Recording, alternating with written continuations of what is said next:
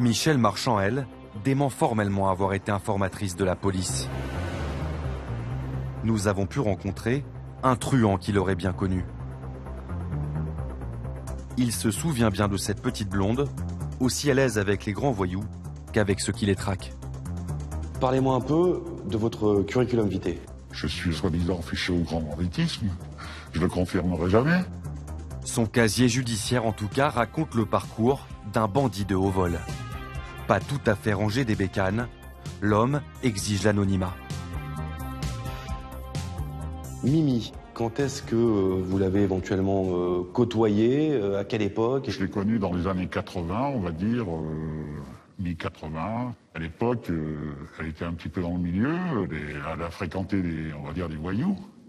Du grand banditisme Oui, oui, le grand banditisme. Ah oui, elle ne s'est pas coquinée avec des, avec des petits personnages. On peut dire que c'est une affairiste. Elle était surtout intéressée, je pense, comme, comme tous les gens qui sont, qui sont dans ce milieu, par, par l'aspect financier de la chose. En 1986, elle va connaître pour la première fois la prison pour des chèques sans provision. 1988, retour derrière les barreaux pour deux ans cette fois.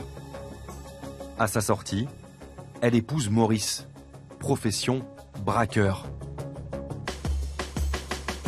Avec lui, elle va repasser par la case prison. En 1994, Mimi est arrêtée au volant d'une fourgonnette dans le sud de la France, en provenance du Maroc. À bord, 500 kilos de hashish. Condamnée pour trafic de stupéfiants, son mari écope de 6 ans. Elle va passer à peine deux mois en détention.